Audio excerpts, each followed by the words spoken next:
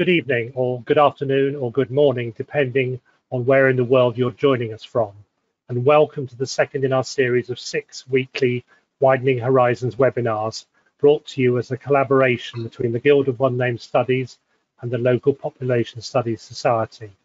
When we last checked, we had 223 attendees registered, which again is a fantastic audience. So we're delighted to have you all with us today. I am Alan Morehouse from the Guild Seminar Organising Committee. The Guild has in the past organised four in-person seminars each year and planning for these normally starts 12 to 18 months beforehand. But in the present COVID situation, we've had to rapidly learn how to convert from a physical to a virtual seminar and understand all the technology behind bringing a webinar to you. So please be gentle with us if there are any hitches from this, which is our first attempt at a live presentation. All webinars in the series are being recorded and you will be notified when the recording is available on the Guild website, uh, which is normally three to five days after, so hopefully by early next week. After 14 days, those from the Guild will be available to Guild members only. If you have any problems with volume, please ensure that your computer volume level is turned up and if you have a headset, this often helps. We hope that the presentation will generate some questions for our two presenters, so please enter these in the question box on the GoToWebinar control panel or dashboard, which should really be, probably be off to the right of your screen. Our speaker tonight is Paul Carter, a passionate genealogist and local historian, who is also a software and web developer and co-founder of Name and Place. In addition to producing and supporting websites for a number of leading professional genealogists and family history organisations, he is the website manager for the British Association for Local History. Paul is a regular contributor of tech tips, articles for Family Tree magazine, and gives regular talks on ways to better support family and local history research through technology. Following his presentation, Paul will be joined for the Q&A by Pam Smith, who is a local historian and the other co-founder of Name and Place. She's a former professional genealogist and member of AGRA. Pam manages the One Place study of Rillington in North Yorkshire and helped to set up the historical Rillington Study Group. So, with no further ado, welcome to Paul Carter. Thank you, everybody. Um, right, can I just check that um, my screen is showing before I go any further? Yeah. Great, thank you. Okay, good evening, everybody, or as Alan said, uh, if it's another part of the world, good afternoon or good morning. Um, I'm going to, for the next sort of just short of an hour, just um, give you a bit of an insight into One Place studies, our thoughts about them, and how they can be used to support other types of uh, history research studies. Um, so there we go. One place study. Um, what are they? Well, in essence, they're a community study of names and places within a defined geographic area and over a specific time frame. And um, they can vary anything beyond that. Um, why do people start one? Um, quite often family historians get involved in them, uh, wanting to place their ancestor or a group of ancestors in context of their surroundings. Perhaps it's a place close to their heart where they live, or somewhere that maybe they grew up, or just a part of the country they enjoy going to. Um, somewhere that gives them a sense of belonging um, and that love of a history around a building, a monastery, a church, or a school. The list is honestly endless. Um, this picture you can see is this is Wharram Percy. It's a deserted medieval village, which is which um, there was still a farming community until long, long after the original inhabitants left, and it's still got that sense of place even today. Um, typically, a one-place study is a village. I'd, I'd, imagine I've never sort of done the statistics, but I would expect most to sort of fall into that category. Um, and often would be a more thriving place than Wharram Percy in that they have a regular inhabitants in the past and still today and will have changed over time. Perhaps it's somewhere near where you live or simply somewhere that you connect to. Equally, um, house history is a very popular theme at the moment with the television series and um, a place can be a house it doesn't need to be a village um, you can literally just drill it right down to that that home was it always a home did it have a former purpose? Um, who lived there? What was the context of their lives? What was the affluence of the area around that home? Did that change over the time? Was it a slum originally and it's become quite affluent or vice versa? Equally, you could extend that out to a street study, um, you know, a group of houses, perhaps a high street with the shops and the trades over time. How did that evolve? How did that reflect how the village in general evolved? Or simply extending that house history concept from not just the house to who were the neighbours around there and helping to set that context as to the type of people who um, lived in, in, in, that, in that one street obviously, as I said, family history comes into this quite often. Um, and it's that, that ability to be able to delve deeper than the genealogy, looking beyond there, looking at the real context of your ancestors' lives. Um, what were their concerns? What was their route to work? What, where, where were their local shops? Where did they worship? Uh, where did they go to school? Um, did they travel far? Where are other members of the family? It's it, who were their neighbours? Who were their friends? It's just giving you that general context. And again, also looking at the affluence of the area. You know, were they poor people? Were they typically poor in the whole village, or was they maybe just um, there were richer people around them? Who were the landowners they worked for? All those sort of things. It's just setting context and just looking that bit broader than just simply the family and the genealogy itself. And equally, of course, surname studies a big part of why we're here tonight. Um, we're all passionate about surname studies where everybody's sharing their name, the derivations. And in particular, what really excites me with this is the hotspots, because while you're looking at uh, where people with each um, surname lived, um, where are they grouped? You know, where are those individual locations where there's a lot of occurrences of that surname? And there you can start maybe to look at a one place study to extend out into that, to look at the context of what those people did there, what were their lives like, what was the environment like, and how that changed over time. So extending purely away from just locating the individual people. And equally, of course, with surname studies, migration um, is a you know big part of uh, what we're interested in there. And you can look to see about who came to this place, how long did they stay, where did they go to, um, where did they come from, and you know it's it just again just sort of setting that context and trying to identify the reasons why they did these things. Um, population as I just said with the migration, you know, population shifts over time. Could be a shift from agricultural to industrial or decline of an industry. Um, typically, for example, there's a, a, project I researched, which was a very agricultural area down here in Kent, and a mine opened. Where did the miners come from? In fact, in that case, they all came from Yorkshire. They were imported in the experts, but the mine didn't last that long. And where did the miners go after they um, the mine closed? Did they stay locally or did they leave? And it's just uh, identifying that context more than just purely the migration, but trying to identify more of a story and more of the reasons why some of these things happen. So it's in a way supporting that population studies. Um, a lot of um, there's there's kind of a grey area really between how you define a one place study and a local history project because I mean in essence one place studies are local history projects. Um, how we generally try to identify them is for example something more specific perhaps it's a research of a churchyard that's a very popular thing that um, a lot of organizations are doing. Um, with the World War One um, centenary, war memorial research was very popular. Where you identify all of those names listed on the memorial and finding out more about their lives not just that cold hard fact of their rank and their age and where they died but where did they come from? What families did they leave behind? What lives could they have led?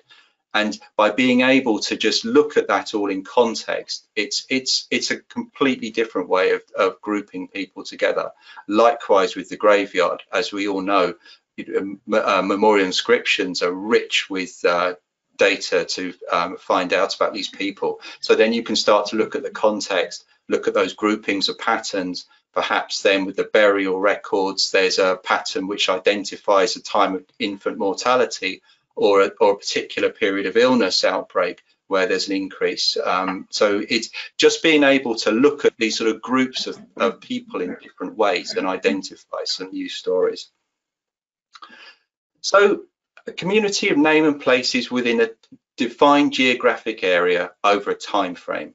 So it can be a village, it could be a town if you're brave enough, but of course you've got to be realistic about the volume of data you can generate here you know, one name study uh, researchers will know this well, as, as well as those that collect population study data, that the volume of your data can increase quite dramatically. So you need to be quite careful how much you actually decide to take on. A census of a small village may stretch to say 20 pages. A census of a small town could be several hundred pages, and that's quite a lot of names to start um, processing and, and assessing. As I said, it could be an institution, a graveyard, a war memorial, a factory, a mine. You know, the, the list is really endless. But equally, a place could move. A ship could be a place. So why not a, a research project researching the crew of a ship, perhaps a ship from the First or Second World War? Where did the ship go? look at the ship's logs. So they're fascinating uh, records that I've looked at at the National Archives a few times you know, where, where, where was that ship actually posted? Who were the crew on board? Where did they come from? Where did they go to? You know, it, it doesn't have to be a static place. And if you're interested in that photo, second from the left on the middle row, that's my great grandfather. Um, so the study time period it's really essentially up to you. I mean, I suggest traditionally people starting out um, will look straight to the Victorian period where we've got sort of a prevalence of records, but equally they may jump a lot earlier or they may wish to start later on. Um, it doesn't really matter, but it usually helps to start with a major data set, such as a census, and build up from there. So for example, if you're looking at a village, perhaps you may pick the 1871 census and say, right, there is a static population at that moment in time. Now I'll start layering on other information such as baptisms, burials, marriages, wills, and so on. Um, so you're sort of giving it a starting point. Um, the records you can use for a, a, study are endless, really. I mean, really sort of extending out from what you would do typically with family history research or other types of historical research. Um, census returns, as I said, parish registers, civil registration, memorial inscriptions, they form the core and additional records add colour both to an individual and also the community. Um, it gives you a holistic overview which enables many types of statistical analysis and this collective data can be used for one name studies in a defined area, population studies, and equally house histories. You know, it depends on the context of the study. But there's the option to drill down into a person's record, um, enabling the events and facts to come out, to flesh out the bones of a life, to identify the occupations and the post holders, and, and images from a traditional family history view. It's just adding so much more color, so many more layers. Um, so yes, it's a community overview. And I think that's a really important message we would like to get across, that it's about being able to see a community from different levels, from that individual person or where they got married or where they went to work every day, up into the context around where they lived, the street, their environment, up to what was that community like as a whole, what were its challenges, and then further on. I mean, for example, a, an industry declining, I think of the lead mining industry in Cumbria, that created quite a population shift as mm-hmm. those people who were heavily involved in that industry moved during the mid 19th century. So you can look to see what wider events are impacting, but you're able to explore your research at all these different levels. But the key thing is it's your choice, it's your project, you're, you're in control. And as I started at the beginning, it's about where you're connected, what gives you some passion, what gives you some interest. And that's really what to, to what, where to start. And you define the rules. It is your project. So anyway, this evening I'm going to introduce you to Rillington. Um, now, this is a small village. It's based in North Yorkshire. And in particular, it's Pam's one place study and a part of the world which is very close to her heart. So it's where she connects and where she feels at home, to be honest. It's also significant for us at Name and Place as it's our first project and the one that we still use predominantly for our testing and our demonstrations. So it means that the whole Name and Place team are familiar with the names and events in and around Rillington, even if never actually visited there. And that actually extended to us demonstrating Rillington over in the US earlier this year. And quite quite extraordinary to just sort of feel that we're bringing these old lives, you know, so far away from home. So anyway, so Rillington is about midway between York and Scarborough up there on the coast. And it's on the, border of the Yorkshire Wolds, which are these lovely sort of gently undulating hills which stretch really from across from York, sort of across to the English coast and then down towards the Humber and Hull in the south. And Rillington just really sort of sits on the edge of it. So as you sort of look out beyond there, you can mm-hmm. see the Wolds. And in fact, this photo was taken from up on the Wolds, looking down in towards Rillington. And if you may not be able to see in this image, but just towards the left of the buildings in the middle is the, is the parish church, but those buildings there centered, that's pretty much Rillington. So it's not a big place. Um, these are the population figures for um, the 18 through the 19th century, and you can see that there was a, a, gradual increase, sort of peaking around the mid middle part of the century, and then as steadily dropping off again. And if we look at that in graphical form, you can see that that peak was on the 1851 census, where it was 1,228 people that breaks down that population into these industries. So you can see that it's a heavily agricultural village um, with trade and industry supporting that. Um, the railway came at a time here, so there was a small increase in the transport workers. But equally, there was there's a, there's a brick, the Rillington brick. It's quite a famous one, and it's very common up there, very obvious. It's sort of a, a, a, real textured brick. So there were plenty of people working in that. But equally, there were the shopkeepers and the people to just generally maintain life around there. Um, but you can see that that uh, split was predominantly agricultural. And if we break down into the um, agricultural industry 1851 you see there's obviously unsurprisingly there's a high number of agricultural laborers but noticeably there's quite a lot of farmers. And this is really because Rillington was a republic. It's a little bit unusual in that way, in that it didn't have a few main landowners. There was a lot more sort of uh, divisions of land and more equal ownership. So in, in, in that respect, there were more farmers. But a place is nothing without the people who live there. And so I'm just going to highlight a couple of um, names, a couple of uh, small families that were quite notable during um, the later part of the 19th century in Rillington.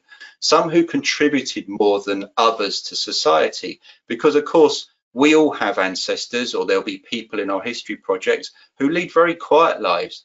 There's no records about them. Nothing really happens, but they're all special to us. And I think that's really why, even at the very least, if they are recorded as one line on a census or they're counted in a population study, they are still there.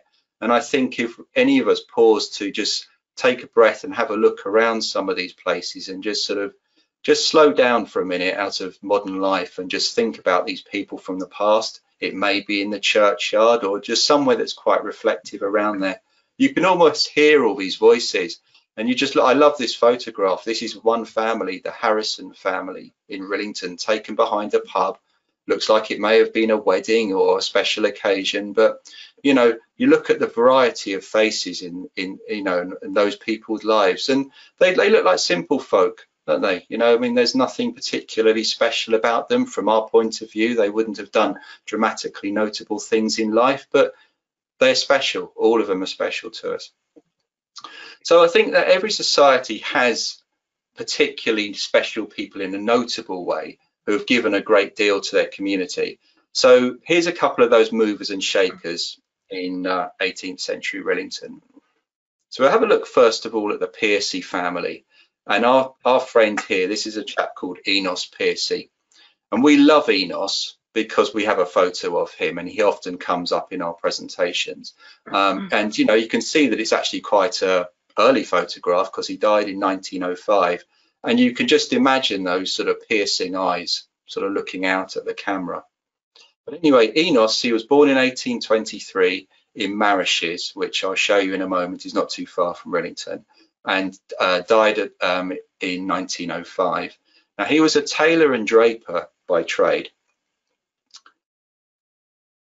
His mother was Mary, who was born in 1804. Now, we don't know who Enos's father was, because if we look at the um, baptism record, it shows Enos son of Mary Piercy of Rillington, spinster. And so we cannot judge what people's lives were like at that time in 1823, but we can't imagine it will be easy for a single mother at that time with a child. Mary's parents were Robert Piercy um, of Rillington, born in 1772, who was a school teacher with his wife Esther.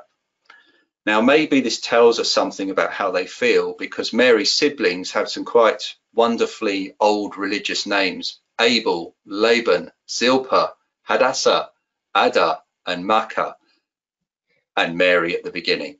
And you kind of wonder, it was this almost like a um, redemption for what happened with their uh, daughter, or were they a heavily religious family, or was it simply that there was a trend at that time in Victorian times for very religious names? But uh, it does make you wonder. Anyway, back to Enos. He married Elizabeth um, in 1847 in Rillington. She was a milliner, um, so very much in the same trade as Enos. And they went on to have three children, Robert, another Enos, and Esther Ann. Now, I said earlier that um, Marishes wasn't too far from Rillington, where, which is listed as Enos's place of birth, and you can see here on the map it's actually quite a short distance away, just um, through through the um, sort of flatter land. It's going away from the wolds, and it's a very quiet place. I mean, this this is um, St Francis Church in Marishes, which is really sort of stuck out on its own with a few farm buildings around there. So very quiet place, and you can really sort of picture that it's not changed very much at all over the years since Enos's time. Now later in life, because he say he's a tailor and draper, he was a professional, he had his own business, um, and he lived in Sledgate, quite near the centre of Rillington, in one of these first houses. And here's St Andrews in Rillington. So not only was he baptised here, he was married here, and he's also buried here. Now, unfortunately, we can't find his gravestone. There are a few that sort of over towards the edges which have, have fallen over, and of course with time quite a lot of the names have eroded. So sadly, his actual place of burial still eludes us. But what's fascinating is I put the, the baptism entry there, but alongside that it is burial entry. There's Enos, and it says for over 60 years, parish clerk of Rillington and Scampston. So bear in mind that early start to his life, you know, unknown father, not listed on the on the baptism register. This chap has pulled himself up. He's a school teacher as a father, so let's assume a quite a professional um, family. He's started his own business. He's been quite successful. You can see him through all the censuses as a tailor and draper.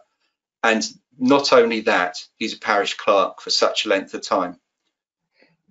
But the story doesn't even stop there because a couple of years before he died, this is the 1901 census, He's listed as a widower, living alone in Rillington, age 77, as a school board attendance officer. So there's a wonderful sort of irony there that his father was a school teacher and he ended up late in life as an attendance officer and you hope that his father you know sort of looking down on him appreciated that so looking in graphical terms this is then how the Piercys appeared in Rillington. Now, this isn't in one name study. This, this is trivial. This is one family, but this is a, what we would call a mini one name study. You know, you can look it wider into the Piercys, where they came from, where did they go to. Now, the thing I love the most about this is in 1901, there is one Piercy recorded in Rillington, and it's Enos, this character who had made such an impact in, in his life. So it's fitting that he should be the last one that was there. And this just really demonstrates that a surname study can be small and fleeting, but it can still be worthy of research. Okay, we're going to have a look at another family. This is the Ruston family. Now, Ruston's very much a locational surname, and it's probably derived from one of two places. This, this is Ruston Village, which is only about 10 miles from Rillington, or there's another one called Ruston Parva, uh, which is about 20 miles from Rillington. And you can see there on the map, you know, in context, it's not that far away. It's just five miles away from the coast at Scarborough. And it's a very small village. It's very, you know, there's a few houses there, predominantly farms. There's no particular village mm. centre. There's no church. So it's a very small place. But one of the earliest entries in the Rillington Parish registers is a chap called John Lamb to an Elizabeth Ruston in 1636. So the name has been around that part of the world for a long time. Now, I'm going to highlight a few of the Rustons within Rillington um, because that surname proliferated through the sort of 18th to late 19th centuries from around this sort of key farming family, and in particular, three generations, all called Nicholas, just to confuse. So starting with Nicholas, born in 1744, overseer of the poor. Um, there's the uh, workhouse in Rillington, and um, you know it's and you, and remember I said earlier about the Rillington brick. If you look at the side of the building on the left, you can see that sort of notable checkerboard pattern. That's what we mean by the Rillington brick. Now, Nicholas married a, uh, a lady called Anne in 1769, and they had a son, Nicholas, who was the second one in the family, and he was a farmer. Now, the Rustons were based at Park Farm, which you can see here towards the top of, of the, of the uh, map. And um, it's, quite, it's quite a significant um, uh, property. Um, it was 25 parcels of land on the tithe map and you can see it there where we've got the sort of the blue circle. Um, interestingly, the sort of pinky circle near it, that's the workhouse. So ironically, the farm was literally right across the road from, from the workhouse. Um, Nicholas and Anne had another Nicholas, and as well as being a farmer, he was a foreman of a duty of his jury, excuse me. Um, so you can detect a pattern here that these are quite notable people with quite significant positions. And confusingly, Nicholas also married an Anne Mook. So we have two generations with the same. And they married in 1824 and had a son called Thomas, among some other children. Now, the middle Nicholas was, uh, sorry, the the sorry, the first Nicholas, I'm getting confused. My Nicholases now um, was a church warden, and you know it shows up in the church there. There's a there's a plaque talking about um, repairing the spire, and Nicholas Ruston is listed there as one of the church wardens. And what a clue that we find also is the proximity outside the door to the um, the graves for the Rustons. They are literally right outside, the door of the church. So this grave is the two Nicholas and Anne generations, the uh, the parents and the son with his wife but also then we get that wonderful additional information that there's a Hannah who uh, died aged four in 1791 and a Kath who was an, an infant for the younger Anne Ruston. Um, just behind on the right, um, there is a grave of Jane Ruston, who was a daughter of the second Nicholas and Anne, and she married a farmer's servant, a chap called David Bilby, um, which you can kind of imagine was probably a drop down in class for the Rustons, but um, and it's it's significant that that is her grave there, not her husband's. Nearby, also, just uh, you can see the graves we were looking at there, just to the right of the image. Um, the hero Thomas Ruston with his son Thomas. They they love to keep the same names, this family, but there's a real cluster of Ruston graves in this very prominent position, right near the church door. So if we look at the Rustons in context in Rillington, um, obviously, in the context of the main population, they're very small numbers. And this is really highlighting the point again about how these are mini one name studies, but they have a right, they have a, a reason to exist about why this family came to the place, why did they leave? And we're seeing pretty much how we saw that overall spike with the Rillington population in 1851. We're looking at the, the Rustons in 1871 and there was a larger cluster of them there. Um, you've got to be careful also about who these people are because while we're quite confident that the Rustons of this time were a real cluster who were related, there are certainly some incomers who came later who may not be related. But it's this concept of a mini one name study supporting the one place study. And we can break down this small amount of data, okay, a small amount of data gives smaller results, but it just gives you that sort of supporting information about who these Rustons were. This is the 1871 census, and it shows you that um, you've got predominance obviously of scholars and at home, which are the greener colours. Agriculture is the blue, and then there's a single person who is marked as a trade, and there was a there was a John Ruston who was a bricklayer. But it shows you that sort of predominance of agriculture. Right, so I'm just going to jump out from looking at the graphs and I'll talk to you a little bit about name and place. Um, the graphs that you've seen so far are within our name and place software. And um, this is something that is a dedicated software solution to help people support these types of research projects. Um, this is a dashboard for the Rillington project, and you'll see that you have an overview where it shows you a split of names and places and sources and occupations. And this is because it's going beyond typical family tree software and of course the sort of bare bones of like an Excel spreadsheet or an empty database. And this is identifying the type of records that we're looking at in this kind of research. If I click through into one of the names, we get our familiar friend Enos here and there's some tabs there where I can break down his information. And at this particular moment, I'm looking at the life events for him. And this shows his birth and his baptism and his marriage. And under next to the dates are the places. And you may be thinking, well, big deal, Paul, I can do this in my family tree software.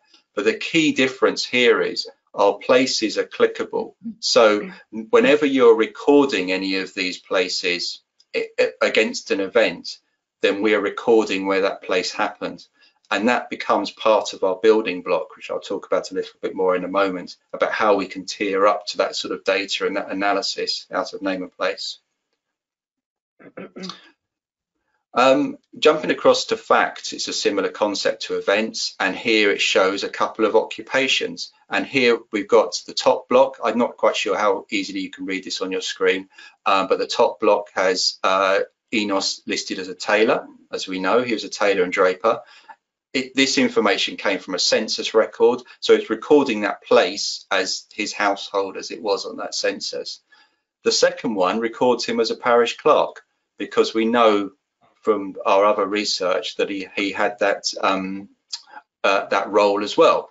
Um, so in just the same way as we make the places clickable, we also make the occupations clickable so that we're not only, it's not, it's effectively not a loose text field, it's an intelligent piece of information. So by collecting all the people who were recorded as an ag lab or a tailor or a miner or um, a seamstress, um, we would then be able to, to pull all that information up into some analytics that sort of help with sort of general insight into um, the place or the name study um, and give that sort of population insight into where are the clusters for an occupation or did an occupation increase over time or decrease over time.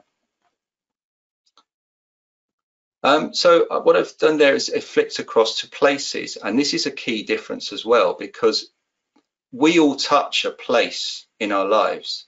We touch many places in our lives. We're born somewhere, maybe baptized somewhere. We may go to school somewhere. We live somewhere. We work somewhere. We get married somewhere. We die somewhere. We may go to war somewhere. All these places over time.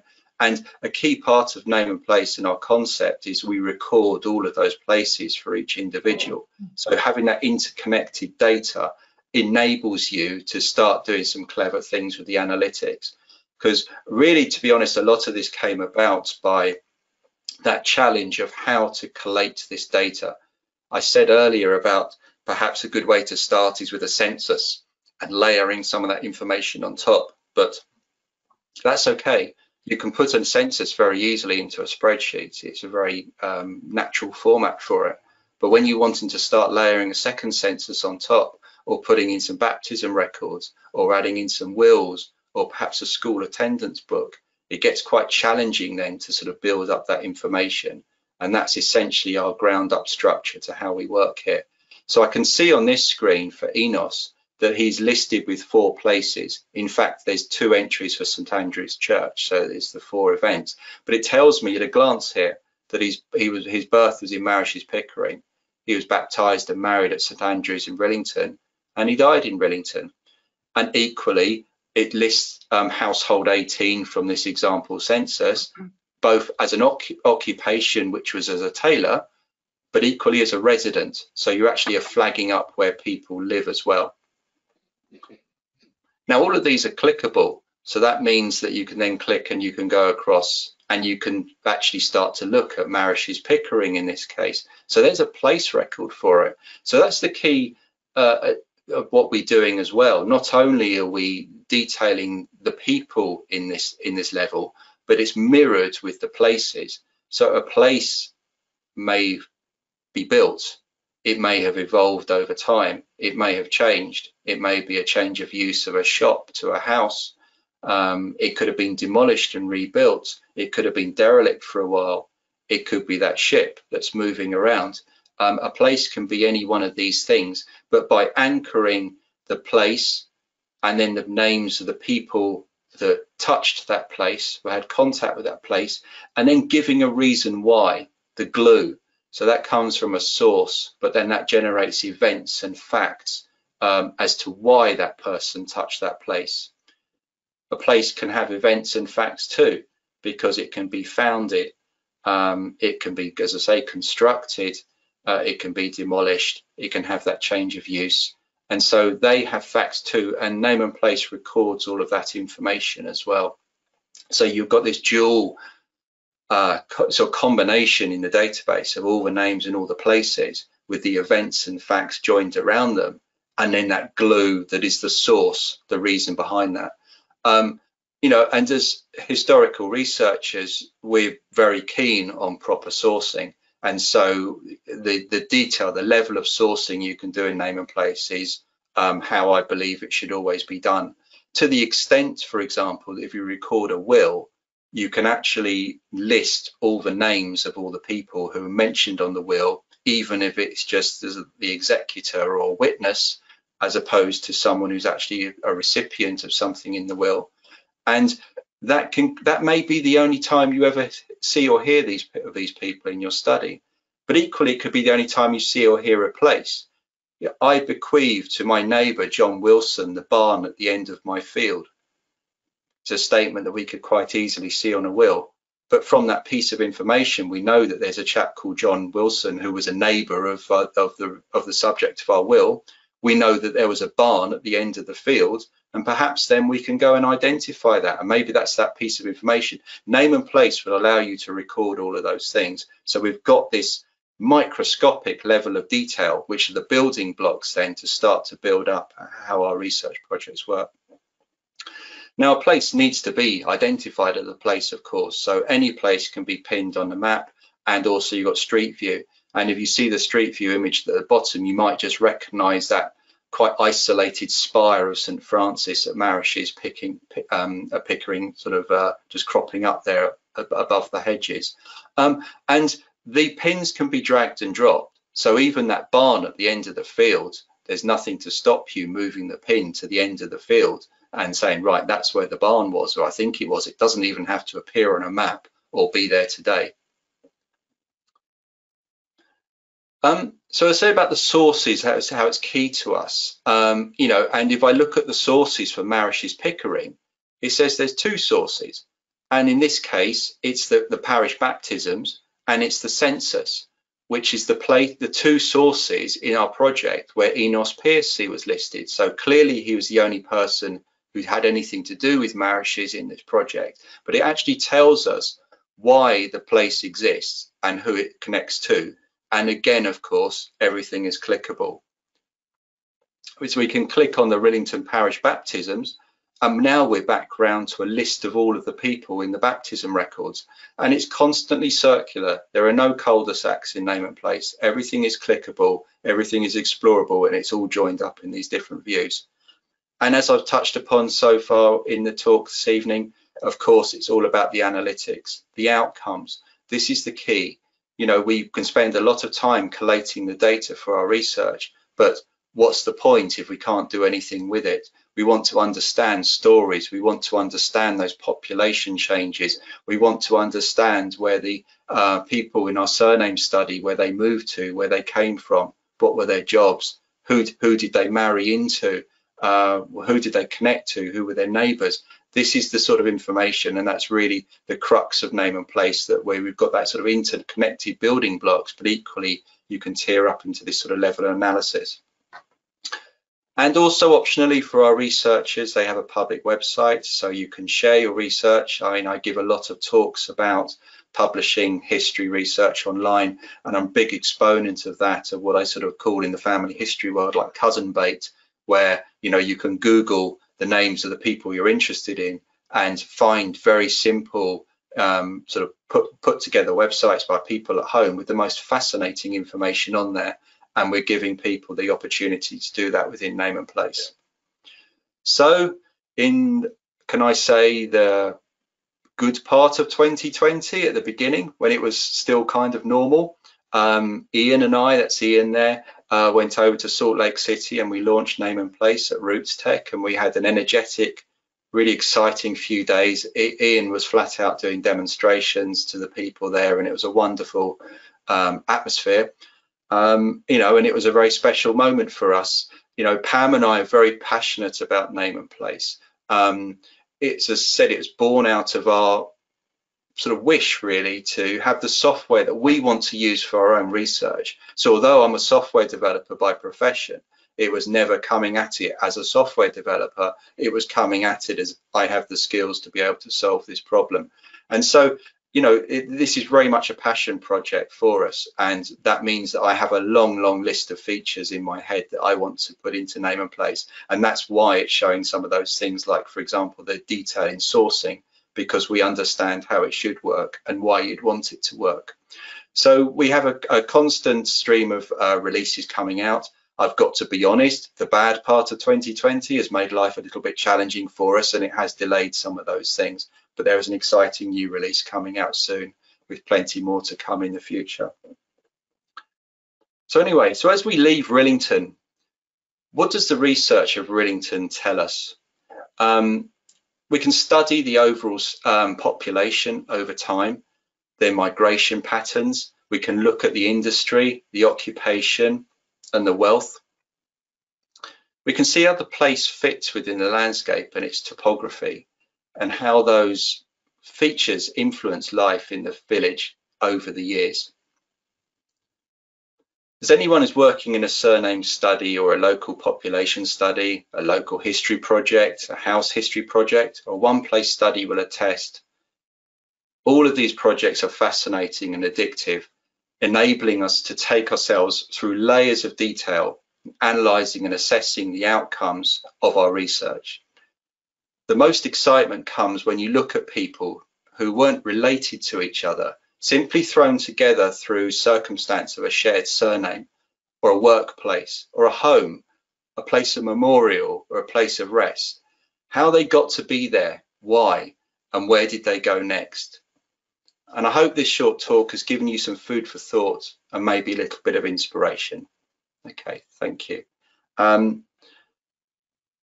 okay, we've got Pam with us in the chat um, with us this evening, so we will open it up to some questions about anything about how to integrate these types of studies together. Maybe you're interested in setting up a one-place study. Uh, if you're able to know anything more about Rillington, or equally anything about name and place, Pam and I will be delighted to answer your questions. Okay, thank you. Thank you very much, Paul, for a fascinating presentation, uh, which I'm sure the uh, all our attendees would have found very informative. So if we'd like to formally welcome Pam Smith to join Paul for the Q&A session, and um, hopefully we've got some questions to put to you.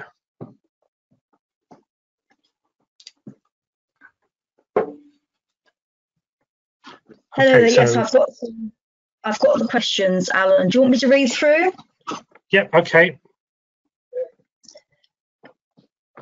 I've been busy slapping them onto slide, so I was a bit delayed. Okay, so the first one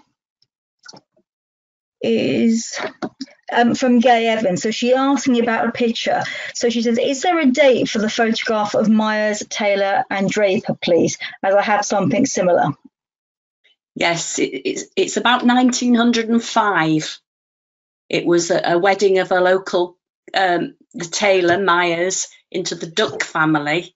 And uh, we know that the marriage happened in, it's about 1905, but this is one of our many cottage industries.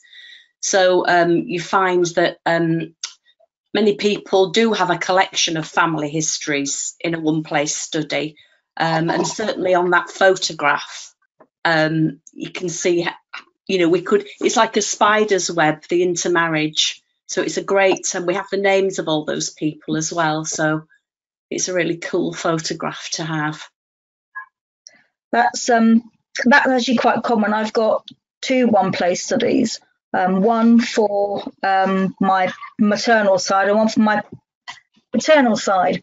But what I found in both of those was that they are it's like spaghetti. They just marry each other um, and they're intermarrying con- constantly. And I thought originally it was just um, my mum's side that did that. But when I started to look down at Sutera, which is in Sicily, um, actually they're all doing that. And I, I drew the conclusion that it's actually, you're looking at rural parishes. Therefore, the marriage pool is much, much smaller. Yes. So it seems very logical. Um, but of course, it's all the names, it's all the same. Uh, and in Italy, they keep women keep their maiden name all through their life. And because of the naming patterns, it means you very often have the same surname and the same first name, and it makes it hard to distinguish between one and another. It will eventually drive you crazy. Yeah. With a one place study in a photograph like this, not everybody has the photograph so because it's a collection and we've, you know, we've started a local history group and people are piling in with the photographs, a photograph that one family will have mm. will have images of people from other families. And it's that it's that commonality and the sharing of the um, information that we have that's really pulling the community together because that you know the sharing in in photographs like that so it's that's really you know it's a it's a really special part of a study because it's the reminiscence and the personal testimony and the personal photographs that people share. And you wouldn't have that with a family history. You, you know your your, your relative may have been a bridesmaid or an attendee at somebody else's wedding but you wouldn't have the photograph. But with a one place study you know you can you can ask us things because we tend to know most things holistically. Yeah and that's why i like it is you can delve deep into their lives um, mm-hmm.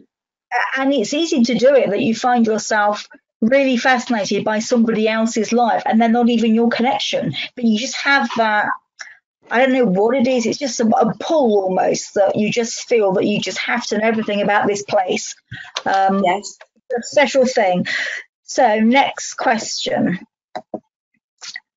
is, in fact, this is about another picture. So Isabel Murphy asks, what date is the picture of the Harrison family? Um, I, I do know this. The Harrisons were actually publicans of the Coach and Horses. I just can't bring it to mind, but it's probably um, 1890, something like that.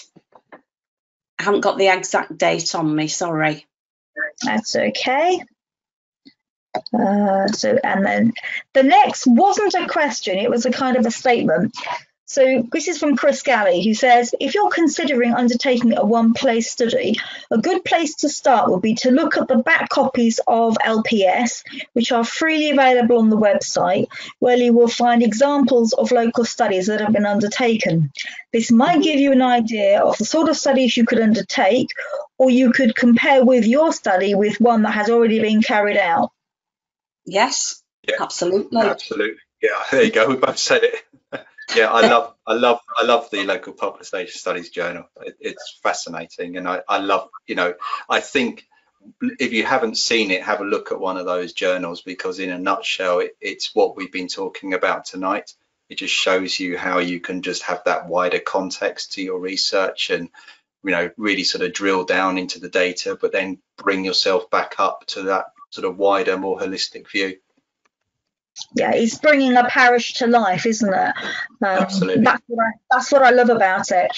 Um, so the next question is from Annie Berman. He says, "Are all of those children Esther's? Huge gap between 1808 and 1817. Then five children in seven years, or are they late baptisms?" Don't know the answer to that. You know, they're baptized when they're baptized. Two of them were born, were baptized at the same time, and I did wonder if they were twins, but possibly not. Don't know.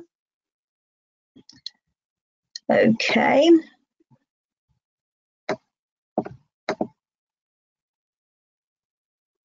So David Bickett asks, how is your presentation's content held in your one place study?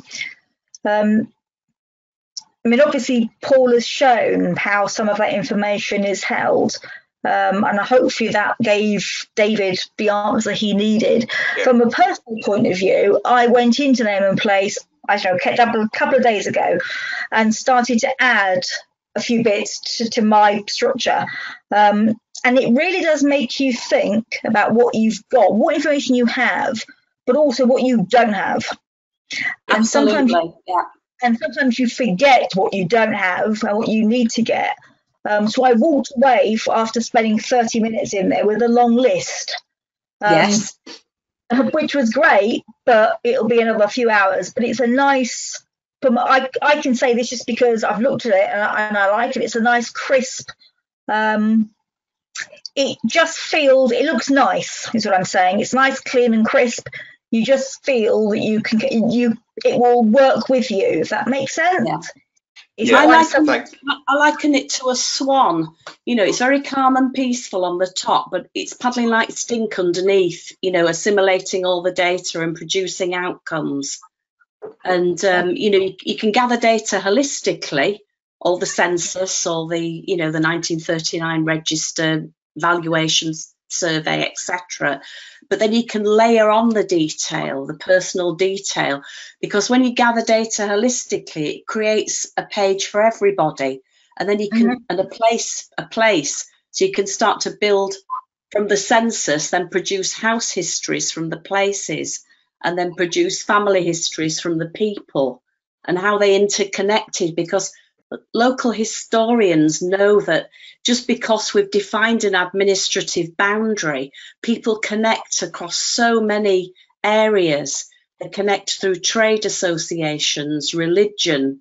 So it's not just as defined. So if there were Methodists, there'd be in a circuit, you know, and um, friendly societies pulled in everything, everybody on, the, on their feast days and you know, providing a support before the NHS. And it's it's sort of looking at things topically as well as holistically.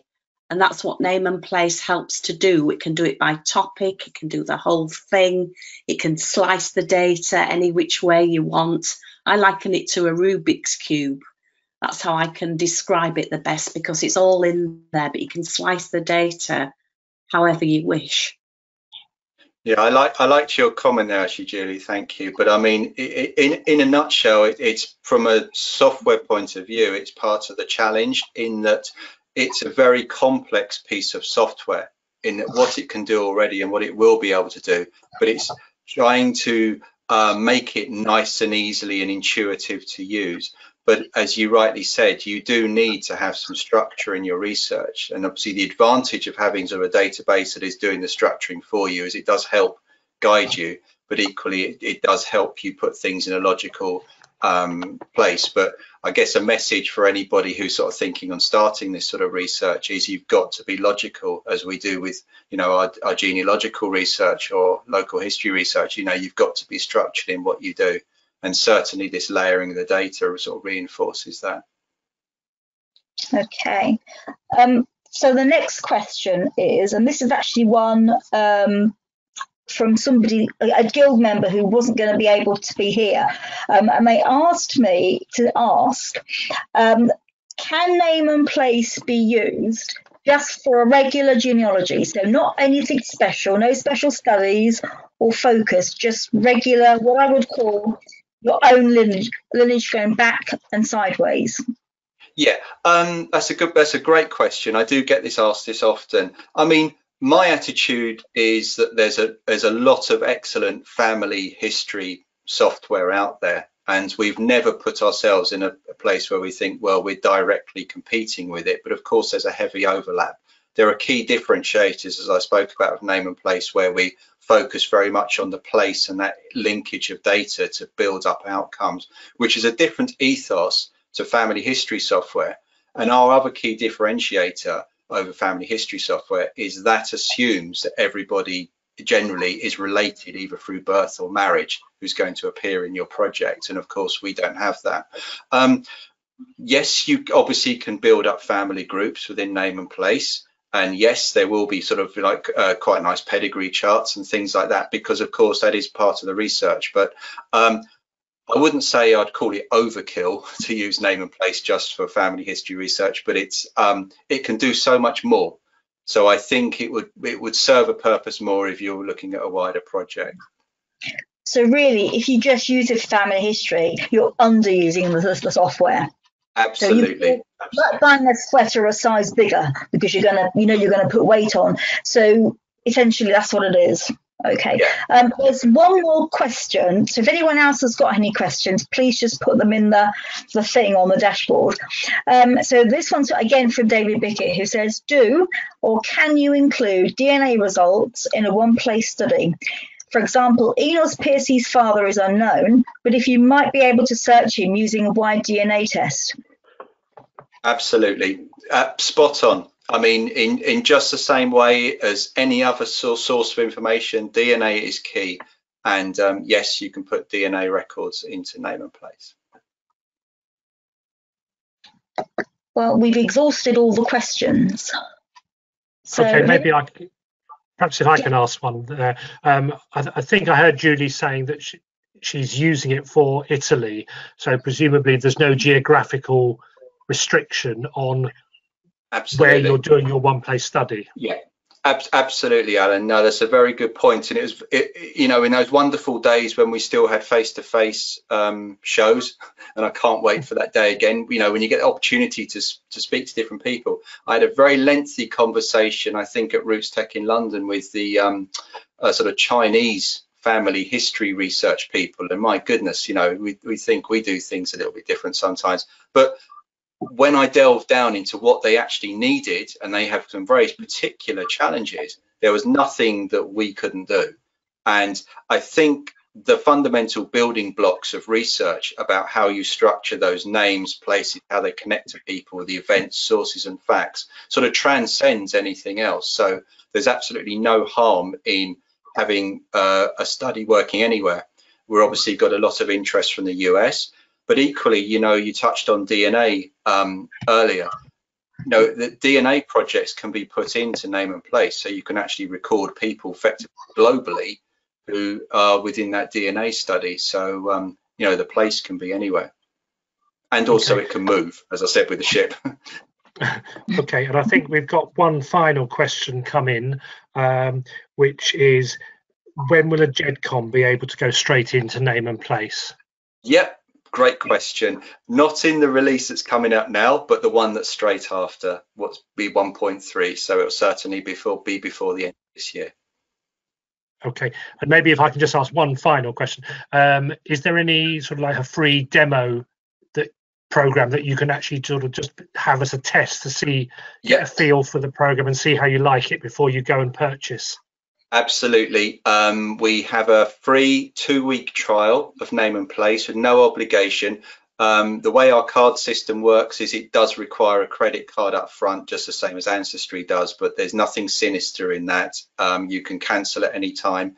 You also have the advantage as it's still quite early software and it's a great uh, opportunity. You can have a one-to-one -one tutorial with Pam over Zoom who will talk to you about your project and show you how that name and place can help. And I know that people who have taken advantage of that have really sort of, it's, it's helped us to um, get past that fact where we can't speak to people face to face at shows that we've been able okay. to do that. So um, yeah, details are on our website, and equally, okay. um, we'll very you know people can contact us. We'll happily answer any questions.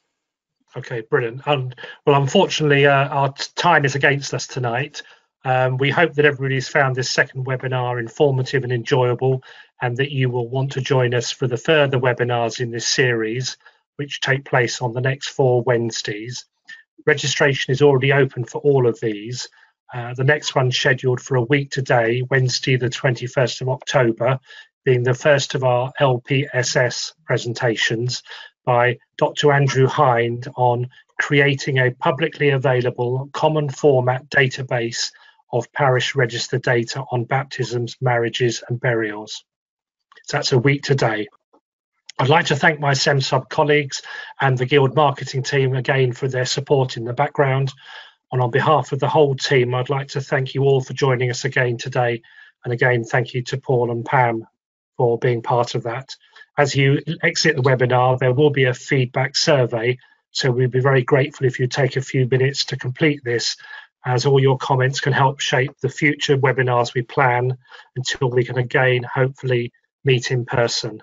So in the meantime, stay safe, thank you, and good night.